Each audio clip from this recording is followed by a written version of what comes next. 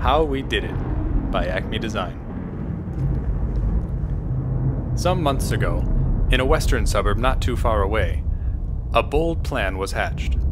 A ragtag collective of professional model makers and part time horror fans, working tucked away in the bowels of the intergalactic headquarters of Acme Design in Elgin, Illinois, joined forces to create a tribute worthy of an icon. Built in the 1970s by Bobby Walker and a team of WFLD stagehands, the original Svengoolie coffin is a testament to the craftsmanship of old, having faithfully served first Jerry Bishop and then Rich Koz. But 40 years of hosting and the ongoing barrage of flocks of rubber chickens have taken their toll. The time had come to preserve the original coffin as a piece of Chicago television history and move Svengoolie to new digs. Next began the painstaking process of researching and inspiration gathering, Research on the history of horror hosts, Svengoolie, horror film, and art contributed to the well of images and information that would find their way to the door of the coffin. With the design in hand, fabrication on the coffin began. The myriad parts were stitched together in coffin design. The framework specially measured to fit Mr. Goolie was cut and fitted, forming the foundation of the new coffin.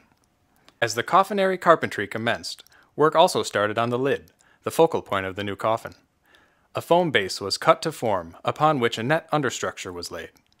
Then water-based clay was layered upon the form and carefully contoured.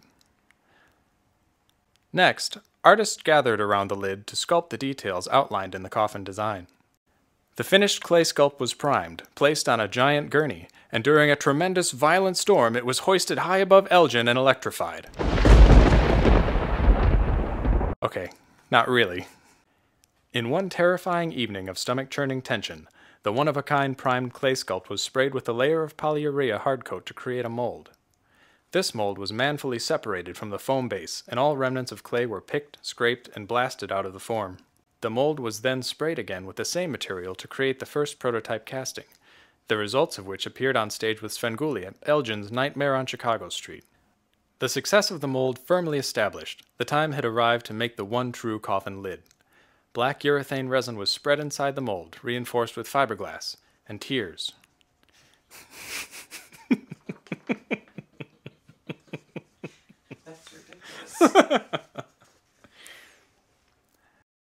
this final casting was both lightweight and durable. The master casting was trimmed, fitted to the wooden frame. The double door was cut, and the entire door was reinforced to stand up to many seasons of trips to meet the hand at the dungeon door. Next, the coffin was primed, and the puppeted mechanics were added moving eyes, opening jaw, and the swinging door knocker. It was time again to gather around the coffin lid, with artists gathering to bring the sculpted design to life with bold colors and careful brushstrokes.